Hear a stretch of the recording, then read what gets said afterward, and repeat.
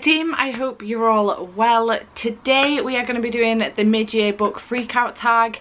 Uh, I am a little bit late on this. I wanted to have it done literally by the middle of the year, which is like very early on in July.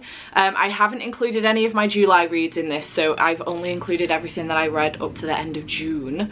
Uh, so, without further ado, let's get into it. I'm really excited. I've never done this one before, so I'm really hyped. But before, without further ado, let's get into it. I've got all of the questions written down here. So, the first one is the best book that I've read so far in 2021. Now this kind of ties in a little bit with the second question um, because I was going to pick the first in this series. However, that isn't the best book I've read this year. It's the second in the series. And that book is Night Shadow by Sebastien de Castell, which I picked up this series because of Jade. This is one of her all-time favourite series. In fact, it might be her all-time favourite series, which is the Greatcoat series. And this is book two in the series. So this got a 9.71 on CAWPILE, which is a really high rating. If you don't know what CAWPILE is, it is a rating system that I use that G from Book Roast has set up. I'll leave a link to G's channel down below and her videos where she explains everything. But uh, yeah, I use CAWPILE to rate my books, help me rate my books anyway. And yeah, this is my favourite book of the year so far and I really, really loved this series. I ended up binging the whole lot at the start of the year. So I loved it so much. Night Shadow, Jade, you have infiltrated my reading. Congratulations. Question number two is the best sequel you have read so far this year. So naturally, it would be Night Shadow. However, that is the best book I've read so far this year. So for best sequel, I actually have two. Both of these got 9.57 on CAWPILE. So I have Act Your Age Eve Brown by Talia Hibbert. I really, really loved this book. This is the third and final book in the Brown Sisters series. And I really, really enjoyed it. The smut in here was fantastic. The romance in here was fantastic. The autistic rep I think was fantastic but also please do uh, look out for Own Voices reviews. I am not autistic so do that please. Um, but yeah just really really loved this one and this is the like I said third and final book so it is a sequel and then I also picked up the third book in the Great Coat series because again 9.57 on CAWPILE which is Saint's Blood and again really really loved this series. This is not the last book in this series you will see on this mid-year freakout tag. Um, so yeah I highly recommend this one if you are into your very, very dark, high epic fantasy. Um, extremely dark but also hilarious. The characters in here are fantastic but it is very very dark. Many many trigger warnings. Do be careful. Um i'll link some reading vlogs up here throughout that you can where you can check out my views on these books because uh, they are a huge feature of this entire tag to be perfectly honest so yeah another one that jade infiltrated Question number three is a new release that I haven't read yet, but I really, really want to. And for this one, I'm actually going to pick up an indie book. So I have Judgment Day by Josie Jaffrey. Now, Josie Jaffrey is an indie published author that I have been following now for a really, really long time. Um, I've read all of her first series, which is the Solis Invicti series, and I'm partway through her second series, which is the Sovereign series, and this is the third series, The Seekers. And book two came out very recently. I got an arc of book one, uh, which was Mayday earlier on this year, last year, late last year, before it came out, uh, and really, really enjoyed it. I gave it four stars, I think. So I'm really excited to continue on with this series, but I just haven't had the chance to pick it up yet. I really need to make time to pick this up. But yeah, I really love Josie's writing style. She writes a, a lot of um, adult vampire books. They have many smut. They have lots of smut in them. I really, really enjoy them. Um, highly recommend. Please go pick them up. Pick up the Solis Invicti series before you pick up the Sovereign series, but you can read this one at any point, essentially. So, go check her out. She's amazing. Number four is the most anticipated books that you are interested in for the rest of the year. So I have two on this list. There's many, many books that I'm interested in uh, for later on this year. But the main two are Under the Whispering Door by TJ Klune. I'll show a picture of it here because I obviously don't own it. It's not out yet. Um, but I'm really, really excited about this one. I think this comes out in October. I'll put the date here. Um, so I'm really excited about this one because I love TJ Klune's writing style. I've really enjoyed the other books that I've read from him so far. So I'm excited about that one. And the second book that I'm excited about is Darling by Kay Ancrum. Again, show a picture of it here. This one comes out in August, I think. put the date here and I'm hyped about this one because I've loved her other two books. The Wicker King was one of my favourite books of 2020 and I really enjoyed her other one as well. I can't remember the name of it, I'll show a picture of it here.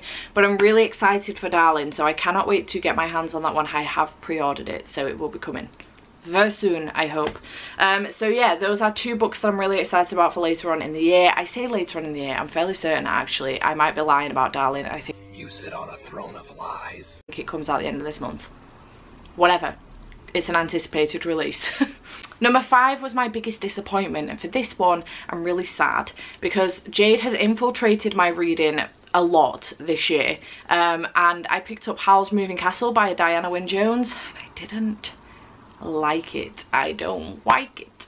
I don't like it. I don't like it. I don't like it. But I don't like it. I don't like it. I don't like it. I don't like it. I don't like it. Um, so I gave this one two stars. I was not a fan of the writing style. It was, I mean, this is an older book anyway, so naturally it was an older writing style, um, but it was very much slice of life and I was just bored. I didn't care for the characters. It's a real shame. I was really, really gutted because I this was a highly anticipated book for me. It was, I thought it was going to be a five star prediction and I was devastated to give it two stars. So it's my most disappointing book of the year because I wanted to love it so bad and I just didn't like it. So really, really sad about that one. And not happy at all. The biggest surprise for me, however, was The Poppy War by R.F. Kuang. I read this in January, I think it was, and I ended up giving this five stars. Now, I 100% thought that I was going to DNF this. It's political um, and it's uh, very, very high fantasy. It's like political high fantasy that is in a setting that I normally would not like. So I thought that I was going to DNF this. 100% thought I wasn't even going to get to page 100 and I was going to DNF this. I did not. I loved this. I gave it five stars. It was fantastic and I'm really excited to continue on with this with the series. I just haven't yet. I think I'm nervous that as I get further into the series I'm not going to like it as much. Um, but over, yeah, I just, I loved this. Loved it. So surprised and I think this will still be my biggest surprise of the year towards the end of the year as well. I think it will continue to be my biggest surprise of 2021. So yeah, outstanding. Amazing. Question number seven is a favourite new author. For this one, I have picked two because it wouldn't be right just to pick one. So one of them is Elle Kennedy and uh, this is why she's my new favourite author. I read all of these in um, June, back to back. I only owned the deal to start off with and then I binged the whole of the off-campus series, read the first in the Briar series, I now have the rest in the Briar series and I have the fifth book in the off-campus series in my um, special little remember these book wish list. So I love Elle Kennedy's writing style, it's fantastic. Her smutsies are outstanding. Really enjoy her writing style. The second one is Sebastien de Castell, obviously um, found him this year and I have loved his books ever since. Also Jade did an interview with him this year which was one of the most cutest wholesome videos I've ever seen in my life. If you have not seen it yet, please do go and check it out. I'll link Jade down below and if I remember to do so, I will also link that interview down below because it was freaking amazing. Not only is Sebastien one of the nicest people on the planet, but Jade interviewing him was just one of the most wholesome things to ever see. So yeah, Sebastien and Elle Kennedy have been some of my new favourite author authors this year. Number eight is Newest Fictional Crush, and for this one I have gone for Tucker from The Goal. I really, really love him. He is adorable. He is just the sweetest bean. He's really, really nice, wants to do the right thing um, for everybody, but without compromising himself as well. And I really, really admire that in a guy. So just a really, really nice dude, and I really, really into him. He's a book character. I'm really into him. He's just chef's kiss. Amazing. Really like him. Your newest favourite character for this for this one, I am going for one, but I'm kind of going for three. So I'm going to pick this back up again. Um, I'm going for Falcio from the Greatcoat series. I just love him. I think he's amazing. His storytelling is fantastic. I know it's Seb's storytelling, but his storytelling is fantastic. And I just really, really love him. But also Kest and Brasti, because they are a trio essentially. They come as a package deal and I love them all together. I love them separately but I love them all together even more. So it's got to be Falcio, Kest and Brasti definitely. I absolutely adore them so much so yet again Jade. Um but yeah just love them. Favorite new characters. I really, really want more from them. I don't know if we're going to get more from them, but I really, really want more from them. So yeah, that's where I'm at. Question number 10 is a book that made you cry. I'm going to hold this up again. It was Tyrant's Throne by Sebastien de Castell. I think I've cried at a few books this year, but this one I sobbed my heart out at the end. Um, I was really, really sad because it was the end of the book, but also because of what happened at the end of the book. I loved it so much. The journey that I went on with these guys outstanding, amazing, sobbed my heart out. Sebastien, you broke me. Number 11 is a book that made me happy. I have picked two for this one. So the first one is Heartstopper Volume 4 by Alice Oseman. This is just one of the most wholesome graphic novels I've ever read in my life. I absolutely love it. Again, I think I cried with this one, but also it just made me so, so happy. I love being with these two. They're adorable. Nick and Charlie are like just so cute. Um, so yeah this one made me really really happy. And then another one that made me really happy was this entire series but the polar bear explorers club series by alex bell. I ended up binging this entire series during Polarthon earlier on this year in february and it was fantastic. It made me so happy these characters are amazing. I just had the best time on this journey with them. And yeah, I literally owned the first one, read it and was like, I need the next two and I need to binge the whole lot right now. So that's what I did. So I really, really love this one. It did make me really, really happy yet again, another Jade Wreck. Um, so yeah, loved it so much. Number 12 is the most beautiful book you've bought or received this year. So I'm actually going for a Fairyloot book because why wouldn't I? They are some of the most beautiful books on my shelves. And I'm going for The Prison Healer by Lynette Noni. I still have my bookmark in here because I've still not fucking finished this book. But this is one of the most beautiful books on my shelves and it's the most beautiful book I have gotten this year. So to start off with, we have purple sprayed edges on top and bottom. We then have stenciled edges on the side um, we have the exclusive cover because the original cover looks like this. So really beautiful exclusive cover. Then under the dust jacket, because we don't stop there, underneath the dust jacket we have this artwork, which is absolutely stunning. And I'm obsessed with. And we have this, which is just one of the prettiest things I've ever seen in my life. So this book wins that award 100% I do still need to finish it though.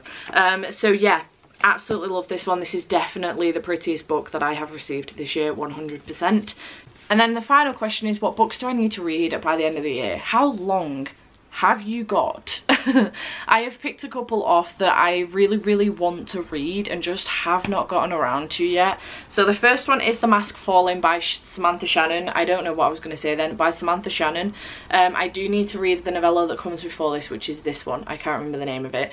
But I do want to read this one soon. It is kind of chunky, which doesn't intimidate me because it's smaller than a lot of the books I've already read this year.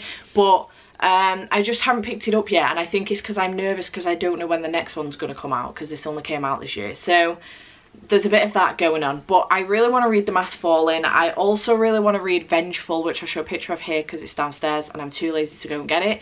Vengeful which I am aiming to still read the at some point during this month um, so I'm hoping I will get to that one and then I've also got Starsight by Brandon Sanderson which is book two in the I don't know what the series is called but it's the sequel to Skyward. Cytonic is coming out later on this year, which is the third one in the series. I don't know how many books are going to be in this series, but uh, yeah, I really want to read this one. I did get halfway through, in fact my bookmark's still there.